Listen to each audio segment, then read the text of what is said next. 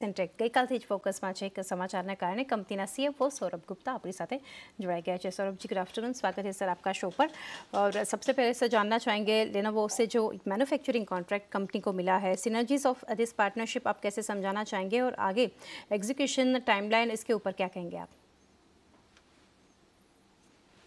मैं बोल रहा था इंडिया की मार्केट अगर आप देखें तो 20 मिलियन के आसपास लैपटॉप डेस्कटॉप्स टैबलेट्स बिकते हैं एंड लेनोवो उसमें इंडिया में सेकेंड लार्जेस्ट प्लेयर है। उनका around nineteen to twenty percent market share है। तो क्लियरली ये हमारे लिए लेनोवो का जो ऑर्डर विन है बहुत बड़ा ऑर्डर विन है। हम I T P L I scheme के बेनिफिशरी हैं।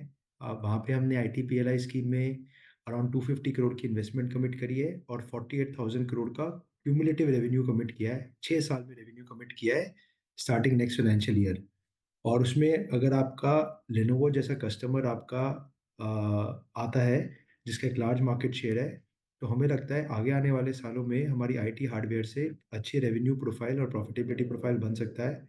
और हम अगले साल लेनोवो के बिज़नेस में almost ten to fifteen percent जितना वो इंडिया में बेचते हैं, उतना हम टारगेट कर रहे हैं। और फिर हर साल वो नंबर्स हमारे हिसाब से अगर हमारी एग्जीक्यूशन अच्छी रही परफॉर्मेंस अच्छी रही तो वो नंबर्स हमारे डेफिनेटली बढ़ सकते हैं। तो ये क्लियरली बहुत बड़ी अपॉर्चुनिटी है हमारे लिए। जी। और सर लोकलाइजेशन कंपोनेंट इकोसिस्टम जो है, उसको स्केलअप करने के लिए कैसे अपॉर्चुनिटीज़ यहाँ से देख रहे हैं? और ग्रोथ ड्राइवर्स जो है आने वाले चार से पाँच साल में कैसा देख रहे हैं आप? स्कीम देखें तो स्कीम में ये स्कीम इस तरीके से स्ट्रक्चर्ड है कि आपको हर साल कुछ ना कुछ बैकवर्ड इंटीग्रेशन करना पड़ेगा in order to get higher incentive government से लेने के लिए, क्योंकि फाइनल असेंबली पे इंसेंटिव का परसेंटेज कम होता जाएगा एंड जितना आप लोकलाइजेशन करेंगे कंपोनेंट्स का, चाहे वो पीसीबीए हो चाहे वो आपका बैटरी हो, चार्जर हो डिस्प्ले हो, कैबिनेट हो तो हम भी ये कंपोनेंट डेफिनेटली हम अपने पार्टनर के साथ, जो हमारे पार्टनर होंगे लेनोवो और हम आई के लिए बनाते हैं, इनके साथ हम एक बार जॉइंटली एक्सरसाइज करेंगे और बैकवर्ड कंपोनेंट्स में घुसेंगे। बट वो अभी आगे की बात है, अभी इनिशियली हमारा फ़र्स्ट ऑब्जेक्टिव ये रहेगा कि तीन से चार महीने में इसकी फैसिलिटी को ऑपरेशनल करें। इसके लिए जो जो भी हमें मोबिलाइज करने हैं इन्वेस्टमेंट करनी है, वो करें।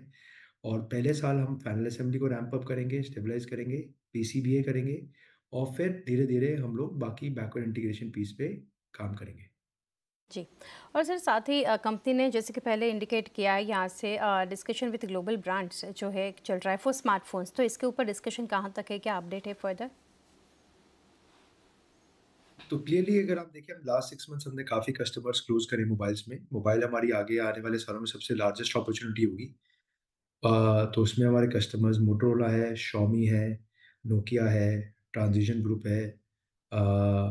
एंड इसके अलावा हम लोग और दो लार्ज ब्रांड्स के साथ हमारी डिस्कशन चल रही है। होपफुली हम इसको क्यू फोर में कंक्लूड करेंगे। इनका इनका एग्जीक्यूशन हम लोग most likely next financial year में करेंगे। तो क्लियरली मोबाइल में अगर आप देखें टोटल इंडिया कैपेसिटी के हम ऑलमोस्ट सिग्निफिकेंट प्लेयर होंगे और हमारी ऑर्डर बुक भी काफ़ी बड़ी है इस कैटेगरी में और ये सबसे बड़ा अपॉर्चुनिटी प्रोफ़ाइल हमारे पास है एंड इसके बाद आईटी हार्डवेयर होगा आगे आने वाले सालों में।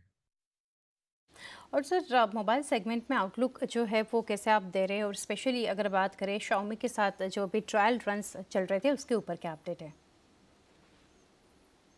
ट्रायल रन हो गए, हम ऑलरेडी उनके लिए प्रोडक्शन करना शुरू कर दिया है हमने लास्ट मंथ से। एंड हमारी मंथ ऑन मंथ हमारी प्रोडक्शन क्वांटिटीज़ बढ़ रही है।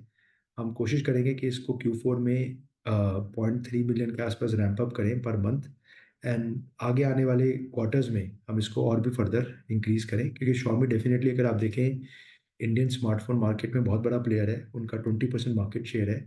हमारी शॉमी से रिलेशनशिप टीवी साइड पे काफ़ी अच्छी है।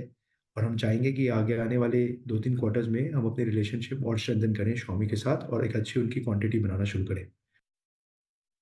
और सौरभ सर समझना चाहेंगे रेवेन्यू जो है थ्रू एक्सपोर्ट कंट्रीब्यूट कर रहा है यहाँ से eight to nine percent last year तो टारगेट यहाँ से क्या कुछ सेट कर रहे हैं? आप शेयर कर पाएँगे?